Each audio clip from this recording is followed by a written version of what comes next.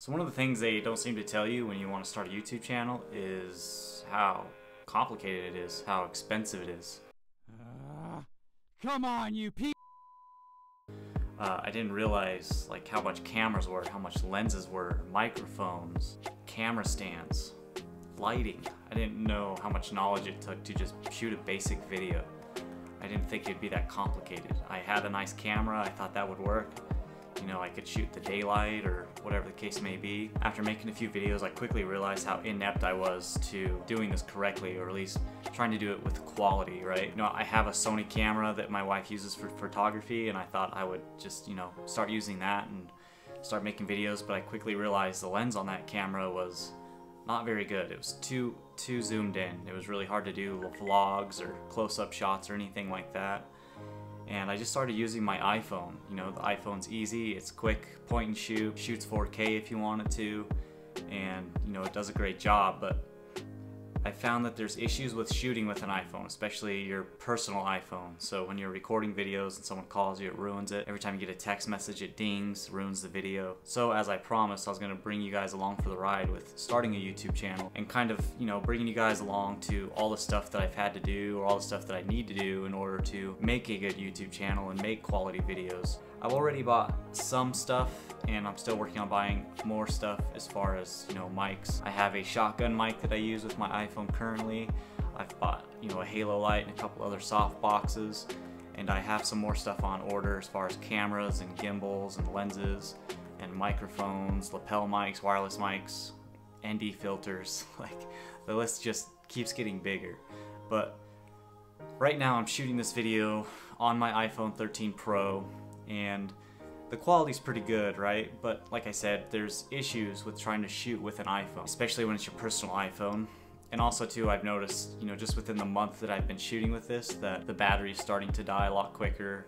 Um, if I do use it to record throughout the day, like I can't have my phone charged for the things I need it, you know, for like calls, texts, stuff like that. So I decided, you know, that I'm gonna buy a good lens, right? So I have this Sony, what is this?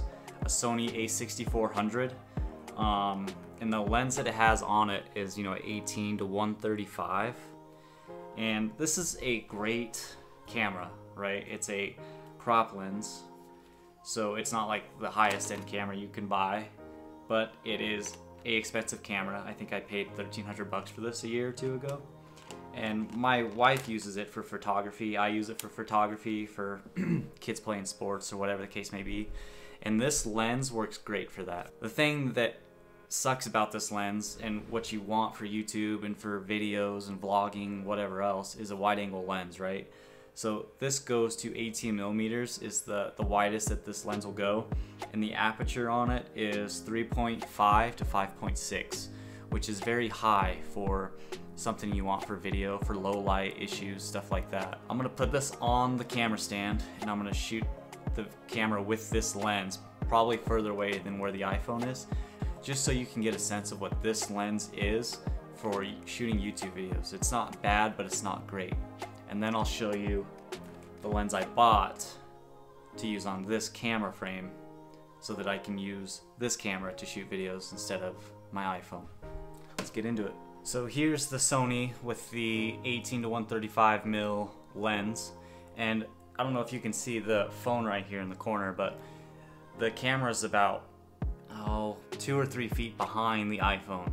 Um, and that's the problem. If you want to vlog or carry the camera around with you while you're walking around and doing stuff you, I can't hold the camera out this far. So the camera right now is about four or five feet away from me and this lens isn't great for that so now I'm gonna pop on this lens and we're gonna see the, the difference in quality. And I'm gonna keep that stand in the same location so you can see how much more you see with just changing the lens. All right, so the lens that I got for this is basically a Sony lens. Um, it's an 11 millimeter f1.8 aperture as opposed to the lowest setting on this, which is an 18 millimeter 3.5 aperture.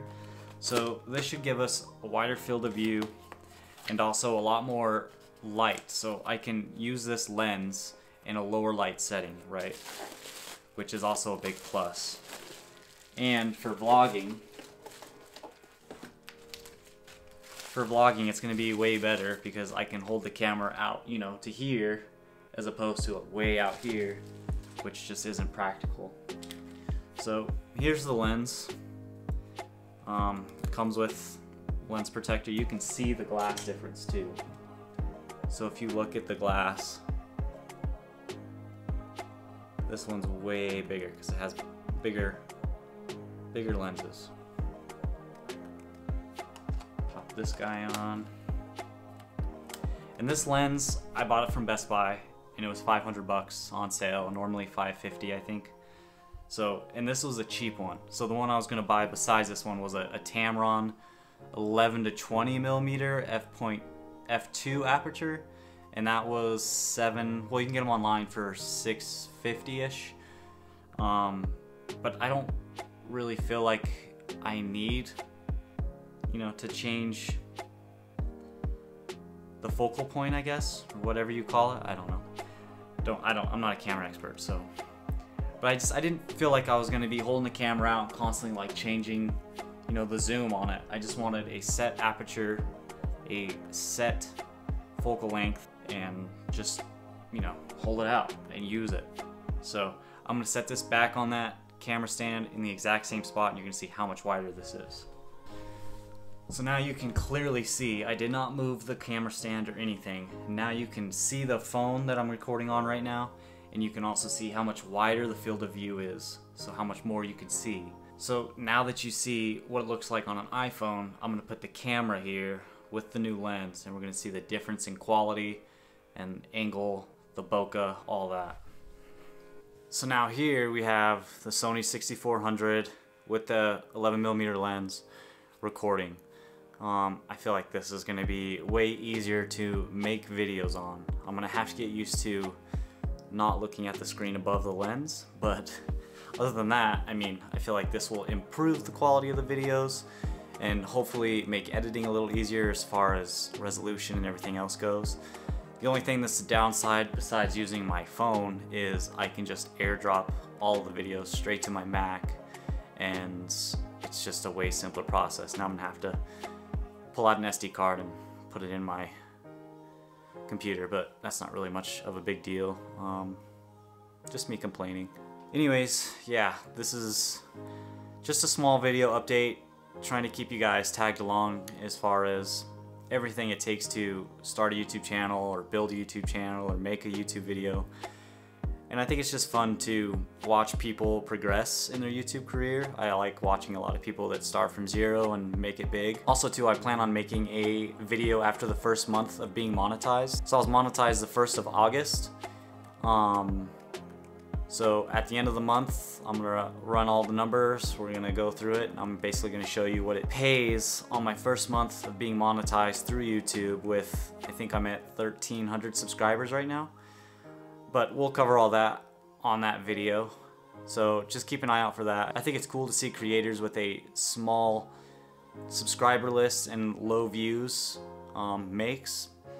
And I also just kind of want to be transparent. And so everybody that wants to start a YouTube channel or is afraid to start a YouTube channel or isn't sure if it's worth starting a YouTube channel can at least come and, you know, see everything that it takes to start a YouTube channel and also what you could potentially make, you know, a month in, six months in, a year in, two years in. I'm just gonna keep documenting this. So I'm gonna go hard at it, at least for a year, see where it goes. I don't really have any plans on stopping, I don't need to stop. Regardless if I keep wrenching or find a new career or whatever the case may be, I'm gonna keep making YouTube videos. So, and then also too, so I don't even have that many subscribers right now, but I'm getting companies reaching out to me to do reviews or to check out their tools.